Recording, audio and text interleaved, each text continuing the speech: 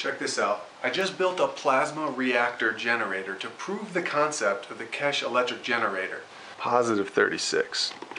Now where is that energy coming from? All of modern society, all of our modern technology, everything that we have today has been designed and constructed and developed with zero understanding of the creation of gravity and magnetic fields. We understand how gravity works, but we have no idea where it comes from, how it's produced until now. This is a plasma reactor to prove the concept of the Keshe generator. And I'm going to show you exactly how to do it from start to finish. So come with me. This is the plastic bottle plasma reactor experiment. Four electrodes, one, two, three, and four. And the idea is that once we fill this up with the solution, that it creates a plasma in the air above it that then um, produces a current.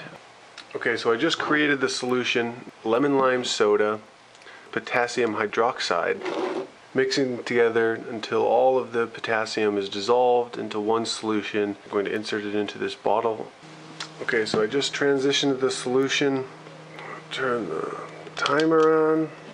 The solution that I just put in this bottle, that is the um, ignition sequence that sets the plasma reaction in, in action. I'm going to take the solution out of the bottle creates the dynamic reaction uh, that then we can measure. Now I'm going to give it a couple minutes to let it charge up, let it do its thing. So now we're just going to let both of these sit. show you this one in a little bit more detail. It's just three copper electrodes. What's fascinating is I'm going to take the caps off of these, show you that there's nothing in this thing other than those electrodes. Now this again is just a proof of concept. Negative 2.2, I switch these around. Pretty impressive results. Okay, anyway, I have to go pick up a friend of mine, drive her to the airport, and I will be back in a couple hours. And these plasma bottles have just been sitting here, so let's test them and see what uh, see what they say. Almost five hours later, holy macaroni, that's a good one. So it's filled with electrons, it's filled with protons, it's filled with neutrons, it's filled with all of that stuff.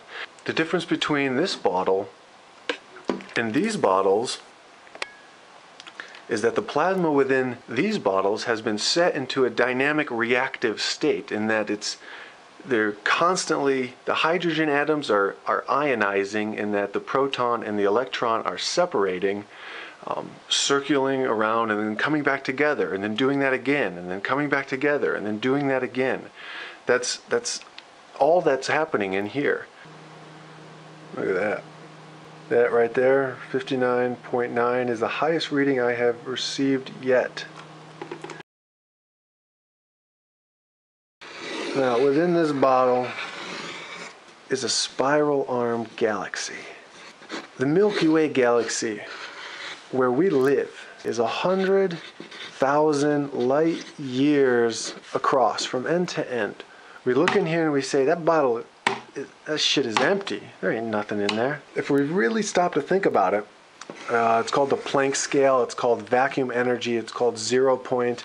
The point is simple: is that there's enough energy within this bottle to change the entire world. All right, I understand. I get it. Enough ranting already.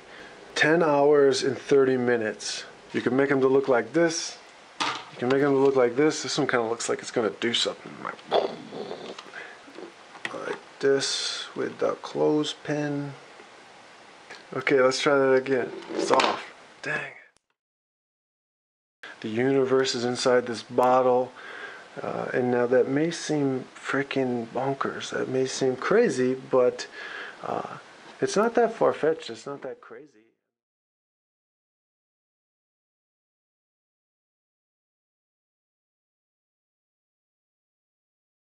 Good morning ladies and gentlemen. Uh, flip the switch. Still got energy. Uh, please share this video. Tell your friends. Uh, if you have any questions, and then all I'm saying is that uh, we're moving from the mindset of scarcity to a mindset of abundance. And it's time for peace. There's really no more reason to fight. All right, ladies and gentlemen of the world, stay classy. Let's do this. So, what are we really made of? Dig deep inside the atom, and you'll find tiny particles held together by invisible forces.